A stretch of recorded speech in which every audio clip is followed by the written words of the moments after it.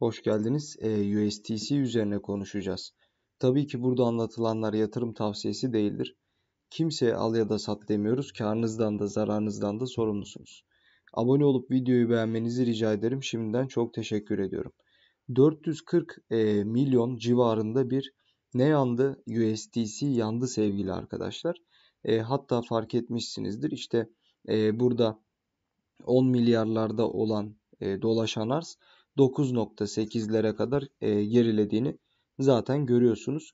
E, 400'lük dediğimiz gibi 400 küsürlük işte 440 milyon civarı bir e, USDC yakımı gerçekleşti.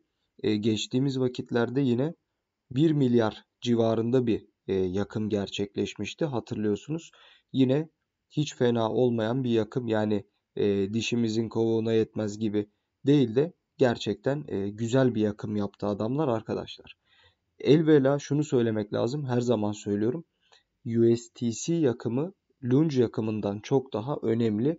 Çünkü ekosistemde arkadaşlar e, bu ekosistemin güneşi kesinlikle USTC e, yani USDC tarafı zaten yükseldiğinde güzel potansiyeller vaat ettiğinde hemen Luna ve Lunge'da özellikle Lunge fonlanmaya başlıyor zaten. Yani USDC yükseldiği bir senaryoda Lunge zaten yükselmiyor, uçuyor resmen.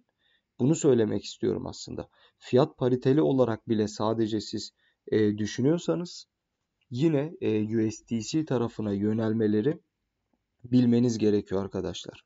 İlk evvela lunge değil her zaman e, USDC yakımına ağırlık vermek, önem vermek her zaman çok daha önemlidir. E, bizim bunu bilmemiz gerekiyor her şeyden önce.